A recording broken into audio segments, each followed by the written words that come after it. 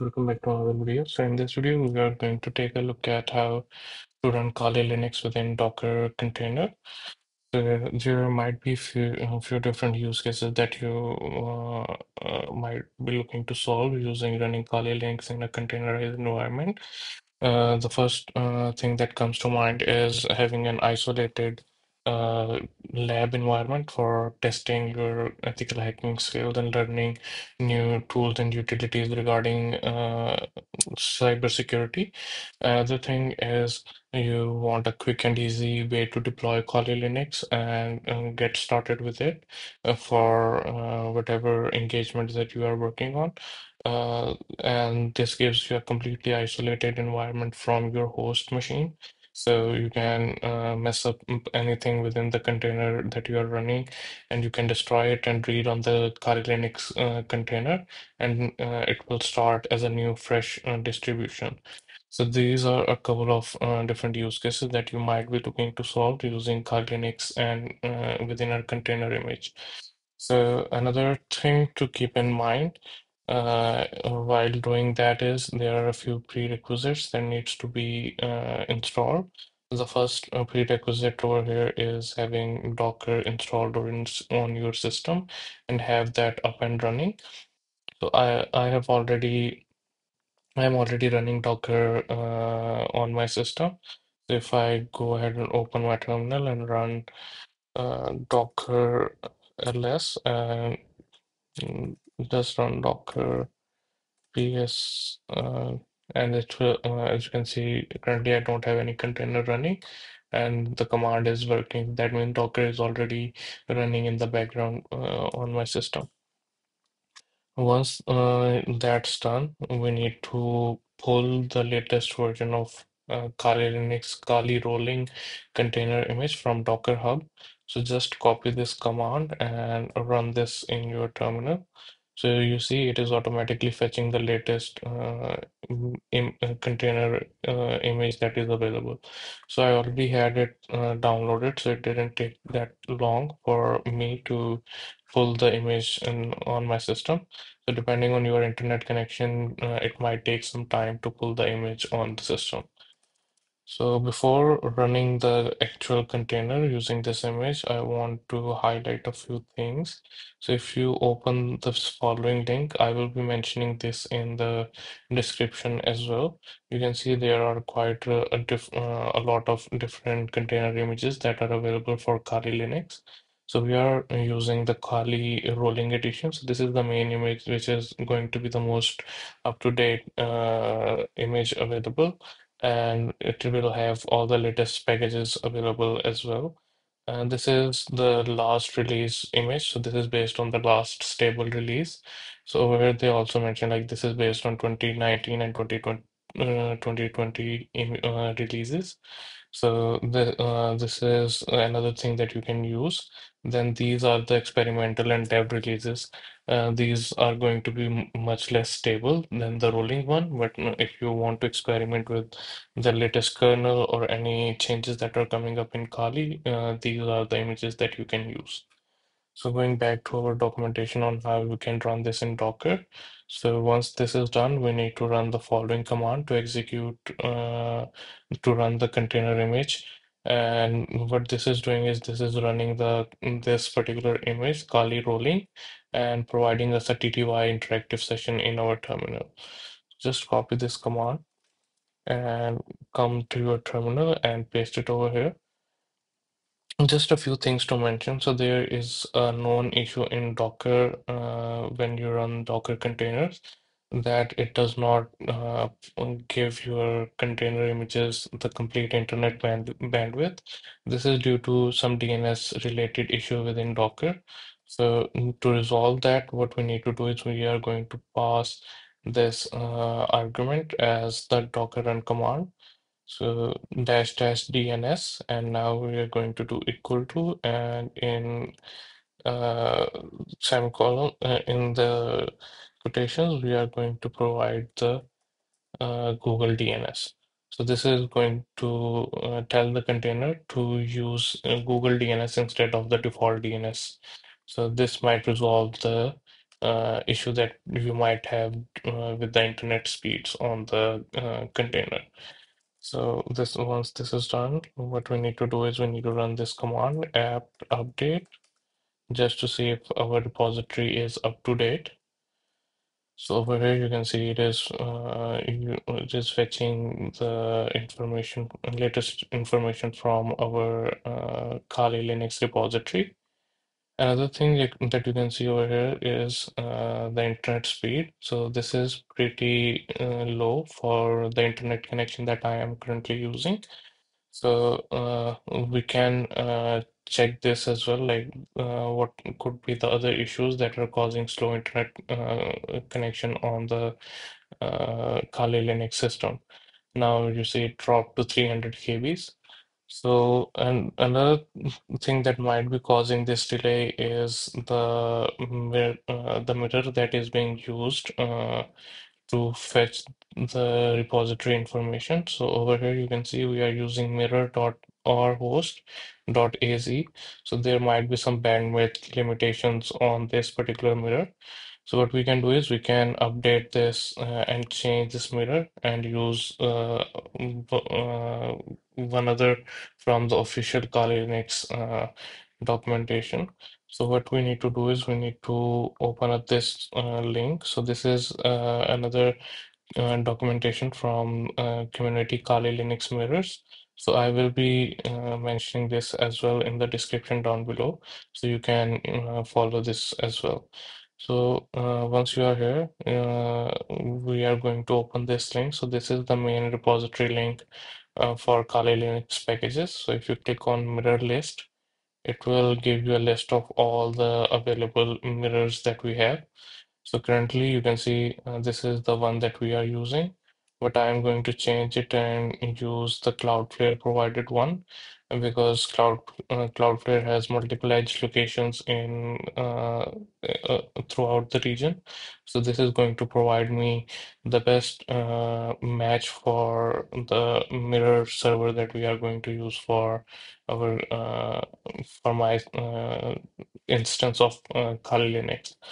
So once we have copied this link, so just copy this, go back to your terminal, and now we need to check if Nano is installed on, uh, okay, so Nano is not installed, so let's just quickly install Nano. Let's install Nano. This is going to install Nano package. Uh, mm, it is a text file editor. Let's just uh, wait for this to get installed. Now it is installed, so let's do nano etc uh, apt source dot list. And over here, we are going to replace this particular uh, URL with the Cloudflare uh, mirror URL. So just remove this and paste the Cloudflare uh, mirror URL. And from here, uh, we are going to remove the S from HTTP. We are just going to use HTTP connection. So save this file. Now that's done. Let's go back to the Docker container uh, documentation. And over here, you can uh, one other thing that is important to mention over here is the default container images uh, that are provided by uh, Kali Linux. They do not come with any meta packages pre-installed. So this is just the basic Kali Linux distro without any uh, security tools installed in the system. And in order to install those, we need to run the following command. So uh, this is going to install Kali Linux headless version. So all the packages that uh, does not require any GUI interface, it is going to go ahead and install uh, those within our container. Just copy this command and paste it over here and hit enter. And uh, let's see if changing the mirror URL uh, made any difference uh, to the speeds that we are getting uh, to install any packages. So just give it a second.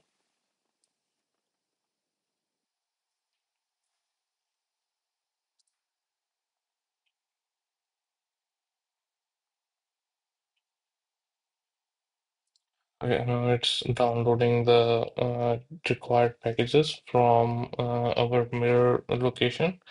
And you can see previously we were getting around 300 KB uh, per second. And now we are getting around uh, 3,840 KB per second. And it, it is also improving as well. So now it's 6,000. Uh, this is uh, going uh, the time it takes to install all of these packages. This is going to depend on the internet connection that you are using. So over here, it's uh, giving me an estimate time of five minutes, but depending on your connection, it might be different.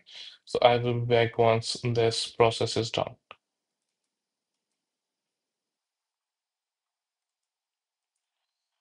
Mm, I'm back again. So now the download process for all the packages is done, and this is going to uh, now this is asking me to provide some configuration uh, information. So the first thing that we need to choose is the character set that we want to use.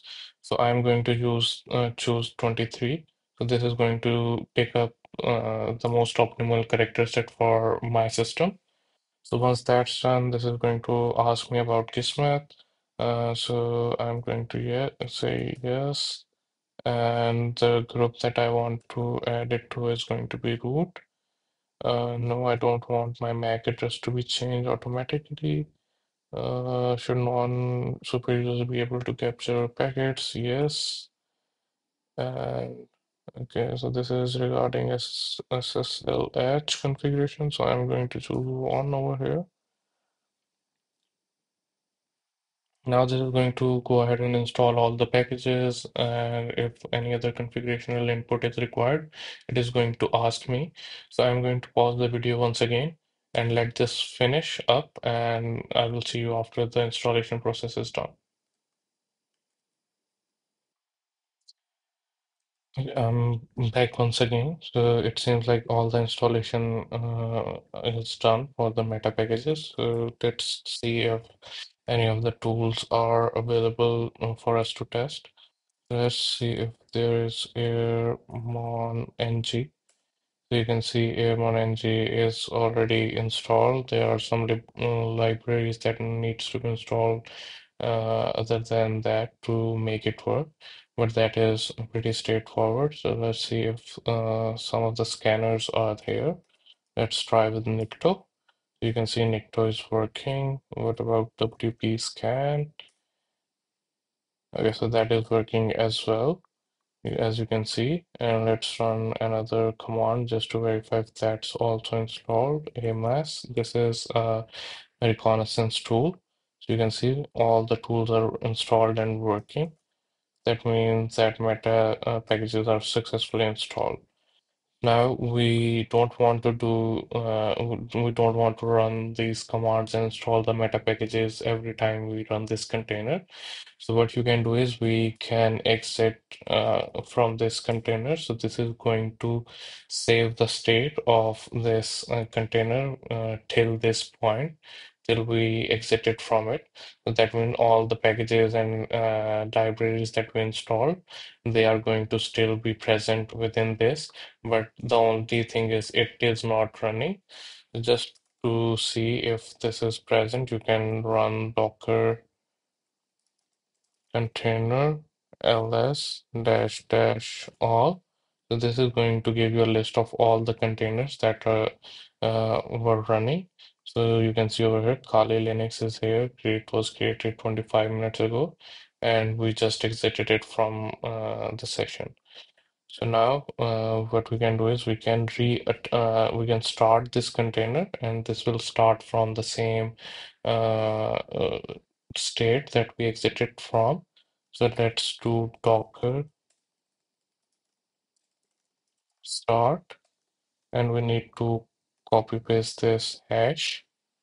This is going to start the container. So now if we do docker container ls it is going to say, uh, tell us like uh, the container for Kali Linux just went up four seconds ago.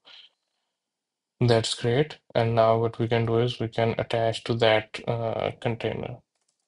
Attach and paste the same uh, hash over here. And you can see we are inside the uh, Linux, uh, Kali Linux container. And if we run Amass. You can see it is working. So this is how you can have a persistent, isolated Kali Linux uh, uh, environment within your uh, Linux, within your Mac OS or uh, Windows or Linux system. Another thing that I do just to make my life easier, uh, instead of running Docker commands every time, is I create aliases within my .zshrc file.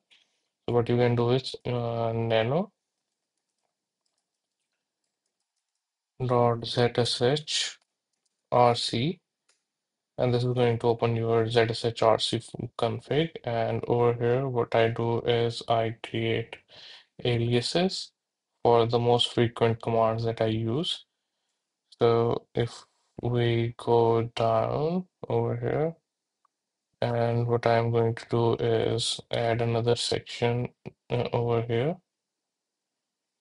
And uh, this is going to be named as Kali Docker and now I'm going to add an alias. Kali Linux and this is going to execute the following command. Let me open the docker attach copy and paste it here. And uh, once the container is started we are going to attach to the container. So for that we are going to run yeah so first we need to start oh, yeah so start as well. So I think we copied the command for attach so let's go ahead and paste the start command and save this file. Okay, so this is done control SQ now this should be saved. Let's do source. And now if I type Kali Linux this is going to directly start the container and give me access to Kali Linux container image. So I don't need to remember the docker commands and uh, run the commands again. So this is it for this video. If you guys have any other question or you uh, you have any concerns or you are facing any issue while uh, doing this, feel free to comment down below in uh, the uh, in the comment section, and we will try to help you resolve the issue. And if you like the video, do like, share, and subscribe to our channel for, uh, to receive latest updates on upcoming videos. And thanks for watching.